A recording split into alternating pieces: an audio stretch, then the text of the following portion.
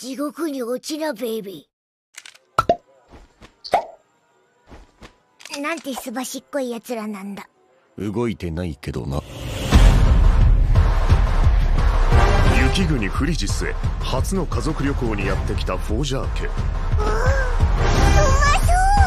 勝手に動くな。迷子になるぞ。今日くらいはアーニャさんの夜更かしも多めに見てあげましょう。その旅がお前たちはマイクロフィルムを奪取しろ。世界の命運を握ってしまった。このままでは東西戦争の引き金に。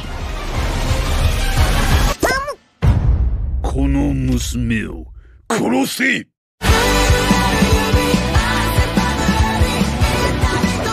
まさかアーニャのやつ軍の一件に巻き込まれて。撃てどうせすぐ戦争になる。諦めるのはまだ早いですマイクロフィルムの趨勢に世界の命運がかかっている。アーニャ大ピンチ。家族は一緒に。その程度か。排除しろ。アーニャが助けるば待ってろ。アーニャ。